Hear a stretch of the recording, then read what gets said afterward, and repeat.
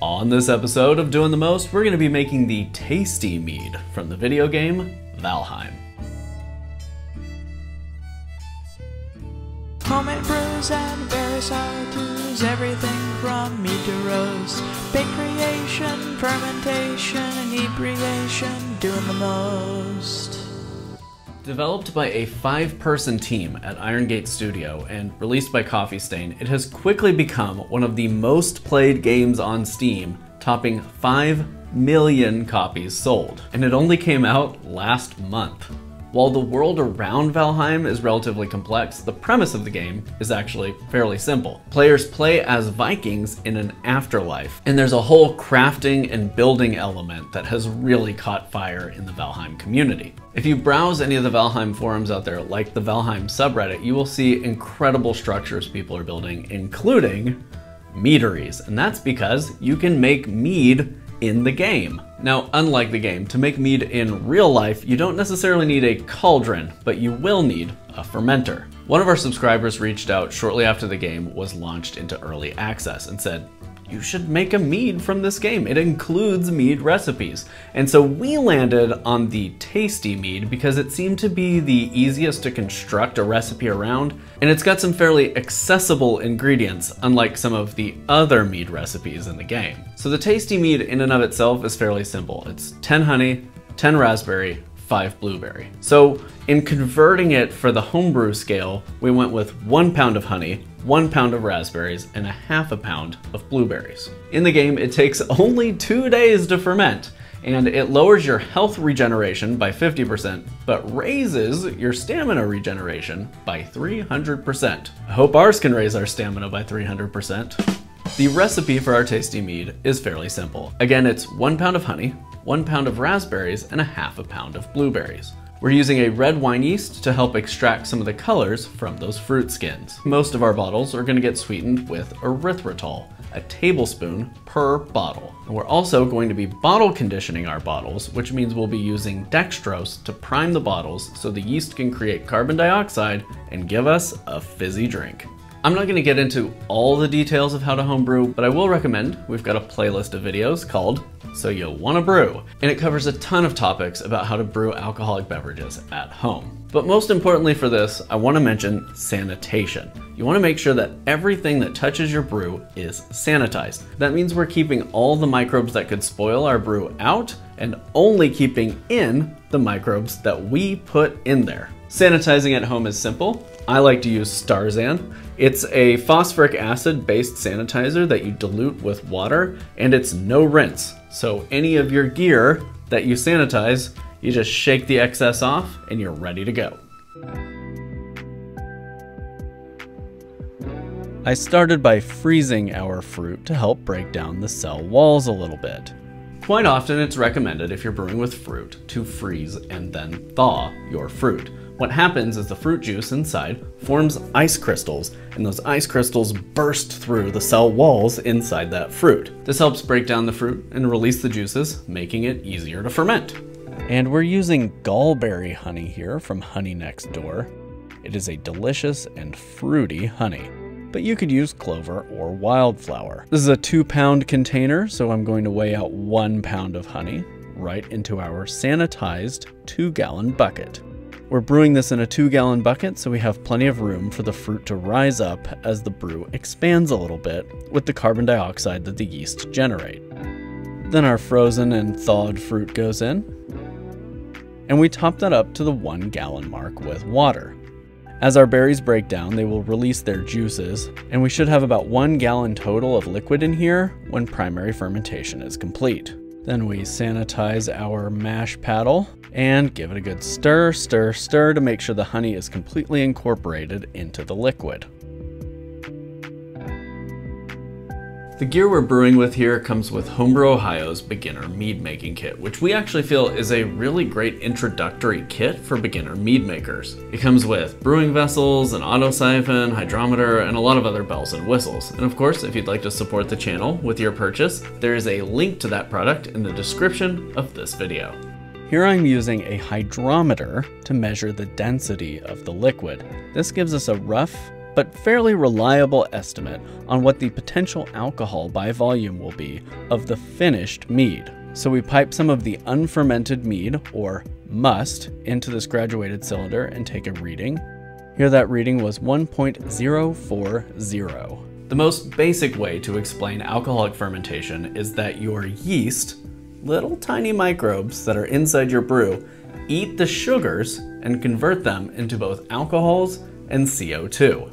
These sugar sources can come from honey, like in mead, or from fruit, like in wines or in fruited meads and I chose Red Star's Premier Rouge red wine yeast for this. It's a good yeast for helping extract some of the color from those fruit skins, so we get a nice rich red mead on the other end of this. And I'm just pitching our yeast in dry here. Sometimes you'll see folks rehydrate their yeast. I'll do that on occasion depending on what kind of yeast or what it is I'm brewing, but for this purpose, sprinkling it on top should work just fine. Also adding some Fermaid O. This is a nutrient for our yeast. That looks familiar. Oh. In mead making, the topic of nutrition is incredibly important. Your yeast need a balanced diet in order to do good work making alcohol for you. If you don't feed your yeast good nutrition, they might crap out on you early, or they might create off flavors that you then have to wait to age out. In this, we used Fermaid O because I have tons of it on hand, but you could also get some diammonium phosphate from your local homebrew store, which is just a little powdered version of inorganic nitrogen that you can feed your yeast. For a brew like this that's fairly low in alcohol, diammonium phosphate works great. Now, you could skip giving your yeast the nutrient in this particular brew. It just may take a little bit longer for it to be drinkable than this one that we turned around to be drinkable in just a month's time. And then we're placing that under an airlock. Here we're using a bubbler airlock filled with sanitizing solution. That liquid acts as a valve. It keeps the unwanted microbes from being able to get in there while still allowing the CO2 gas to escape.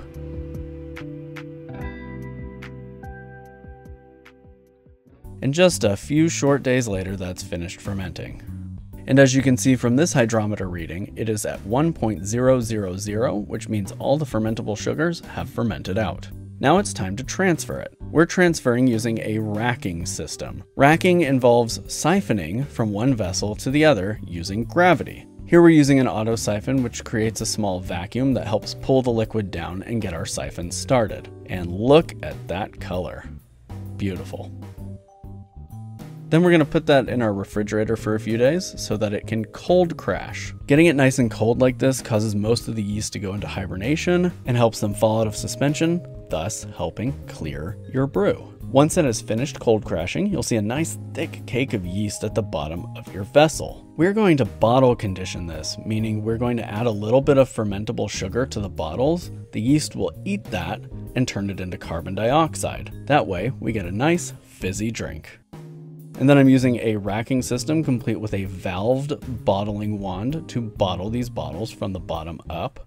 The reason we're using a racking system and a bottling wand to bottle our bottles is because we want to fill them from the bottom up and minimize oxygen exposure.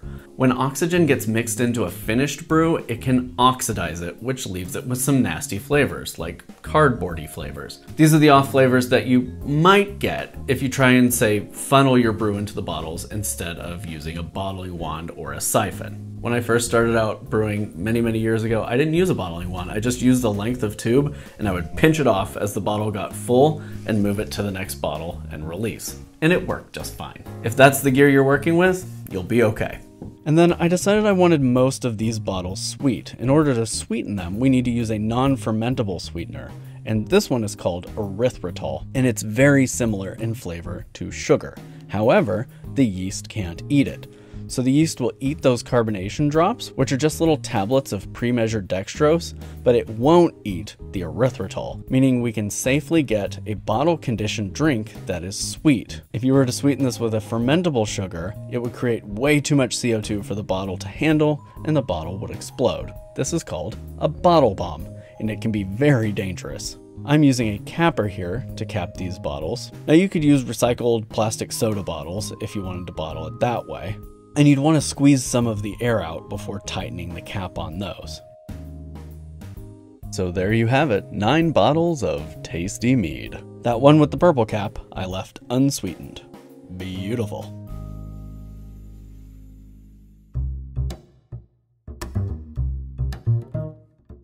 So we brewed these up as a session mead or a hydromel. Basically a low alcohol mead more akin to like a wine cooler or a beer in style. The big benefit of brewing our tasty mead as a session mead is that we can drink it quick. It turns around real fast and we go from pitching yeast to bottling in as little as a month. This one took about four days to ferment, I cold crashed it in the fridge for two days and then I bottled. And so this was actually in the bottles in under a week. And then it spent another couple weeks bottle conditioning so it could get that nice sparkle. If you added a ton more honey, that would turn this into a different style of mead. And it might be so alcoholic that your yeast couldn't bottle condition your bottles. So if you add more honey, say you double or triple the honey in here, you're also gonna double or triple the strength, alcohol by volume, of your finished mead. And in that case, you might want to serve it still rather than sparkling. And you might want more fruit than what we added to this one. So let's open them up. The one with the red cap here has been sweetened. That's what you want to hear. And this one with the purple cap, we left unsweetened. So let's start with the unsweetened one the one I'm the most skeptical about. A lot of times you need a little bit of sweetness to balance out your fruit. But in the interest of science, let's see what this tastes like unsweetened. It's actually not bad. It, uh, it's, it's very tart. It's got a lot of that acidity that you would associate with raspberries, but it does have a lot of that floral, fruity flavor of the blueberry. And because there's not a lot of sweetness there, the tannin really does kind of take over. The tannin is that sensation of bitterness or astringency. It's delicate in here, but it's enough that not having the sweetness, you really notice it. And that comes from the fruit skins and the seeds. Still, it's really refreshing and quite nice. And now our sweetened version. That little bit of erythritol really helps the fruit flavors come out. You don't notice the tannin as much, and the blueberry that's in there is kind of hoisted up by that sweetness and kind of thrown into the forefront. So across your tongue as you drink the mead, you taste that sharpness and acidity and brightness of the raspberries, and then when you exhale, you get that sweetness and richness of the blueberries.